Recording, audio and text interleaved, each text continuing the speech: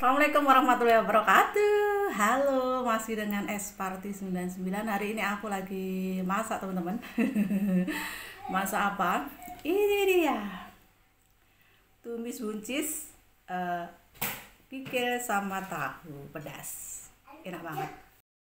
Dan bagaimana caranya aku masak? Ikutin yuk. Sebelumnya jangan lupa subscribe, like, komennya yang baru nonton channel aku. Selalu ikutin vlog aku terima kasih. Doa terbaik buat kalian yuk ikutin yuk. Ini tadi enak banget aku udah udah ngerasain udah nyobain kan. Enak pokoknya. Mantap. Jadi ini mau pedas dia nggak mau. Dia pasti pedas. Saya juga suka banget pikir ini. Yuk ikutin yuk gimana cara masaknya. Pedas. Hmm. Aku mau. Tuh, dia mau pedas katanya dia maunya nggak pedas. Ikuti cara masaknya. Ayo. Dan ini adalah bahan-bahannya teman-teman. Aku pakai buncis yang aku tadi aku udah iris-iris. Aku rebus sebentar. Alhamdulillah warnanya masih hijau karena masih muda buncisnya. Terus aku juga pakai kikil. Ini aku potong-potong juga tadi udah aku rebus sebentar biar agak empuk gitu loh. Terus juga aku pakai tahu crispy kenapa aku tahu crispy karena ini udah ada tepungnya nanti kalau aku tumis itu nanti biar ada anak cemak-cemaknya gitu loh jadi nggak usah pakai tepung maizena lagi atau apa gitu. Pakai ini aja. Dan untuk bumbu irisnya aku pakai cabai hijau. Tadi aku ngambil di petik di depan rumah. Terus yang yang dulu itu loh itu kan masih ada. Jadi aku petik ini aku terus ada cabai merah cabai rawit ada tomat. Tomat aku ambil sendiri di depan. Terus juga ada bawang putih dan juga bawang merah itu aja bumbu yang aku iris nanti buat numisnya. Dan bumbu-bumbu ini nanti aku tumis sampai ya sampai harum sampai layu gitu aja. Ditambah lagi bumbu-bumbu yang lain seperti garam gula. Dan aku mau iris-iris dulu ya teman-teman. Ini tak iris-iris dulu. Aku geprek dulu bawang merah bawang putihnya bawang merah Oh ya sambil lihat videonya teman-teman yang baru nonton aku jangan lupa subscribe komennya, pencet tombol belnya biar tahu video aku terbaru dan biar semangat aku bikin videonya. Dan yang selalu ngikutin vlog aku terima kasih doa terbaik buat kalian semoga dimudahkan segala urusan di dunia dan akhirat. Amin ya rabbal alamin. Lanjut ikutin yuk kelanjutannya.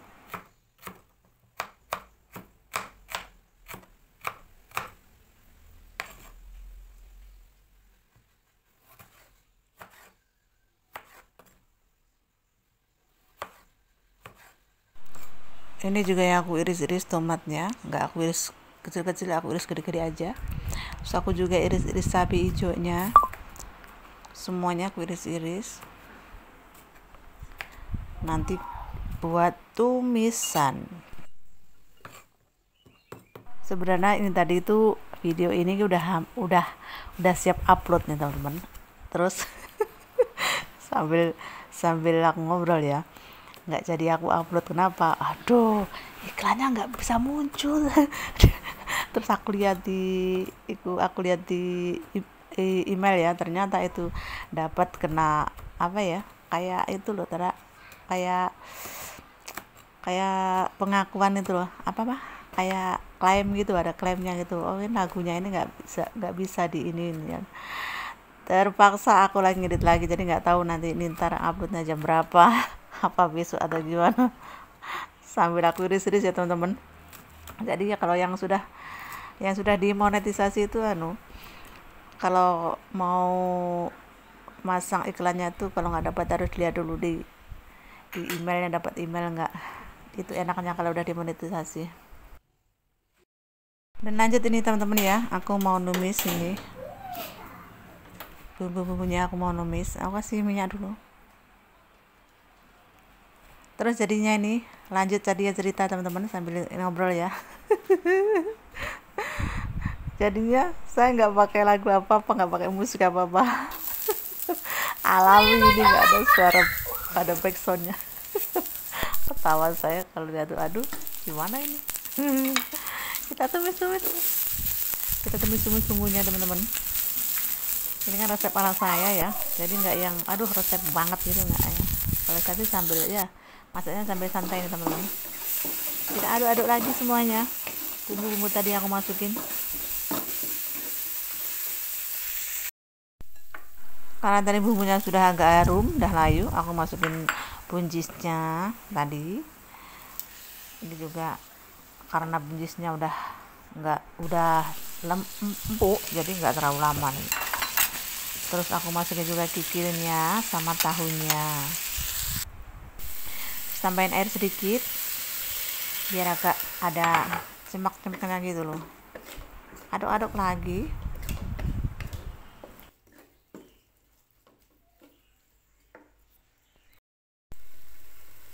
Udah kasih bumbunya pemirsa. Aku pakai royco secukupnya atau sesuai selera. Terus dikasih garam dikasih gula. Pokoknya ya bumbu seperti itulah terus icip-icip kita icip rasanya. Kita tes rasa. Pengen yang kurang gimana? Sesuai selera. Terus aku tambahin kecap biar warnanya agak coklat gimana gitu. Dan alhamdulillah udah selesai. Karena udah pada matang jadi dengan jemplung jemplung jemplung aja nih. Udah selesai nih siap untuk dihidangkan. Enak banget ini pastinya guys eh banyak kikil itu aku suka banget. Alhamdulillah udah selesai ini tumisan saya ini teman-teman. Tumis buncis uh, kulit cecek. Apa sih ya? Tahu pedes. Mantap. Udah siap untuk dimakan oke teman-teman terima kasih sudah nonton vlog aku. Sampai jumpa vlog aku selanjutnya. Jangan lupa subscribe komennya ya.